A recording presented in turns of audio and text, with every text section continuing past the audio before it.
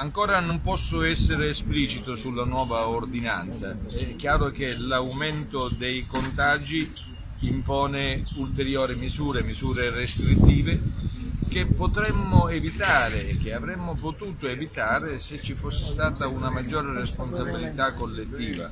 Purtroppo gli appelli alla cautela, alla prudenza che abbiamo lanciato negli ultimi mesi non hanno sortito particolare effetto e tuttavia si tratta di misure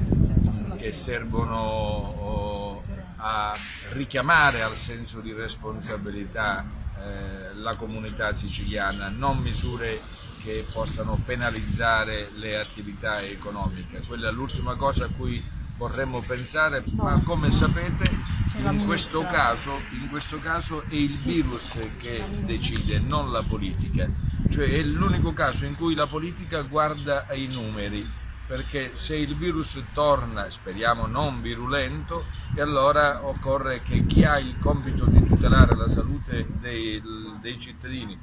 e in questo caso lo Stato ha affidato ai presidenti di regione il compito di farlo, deve adottare le necessarie misure.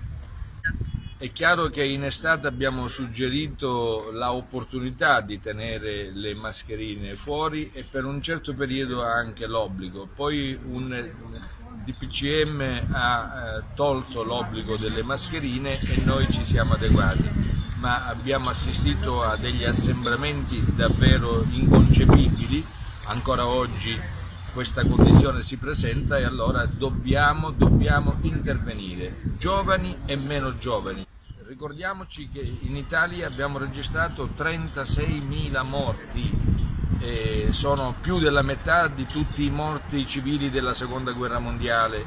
fino all'armistizio, quindi eh, è chiaro che eh, pur non vedendo i cadaveri ai bordi della strada dobbiamo tenere conto che questo è un virus che uccide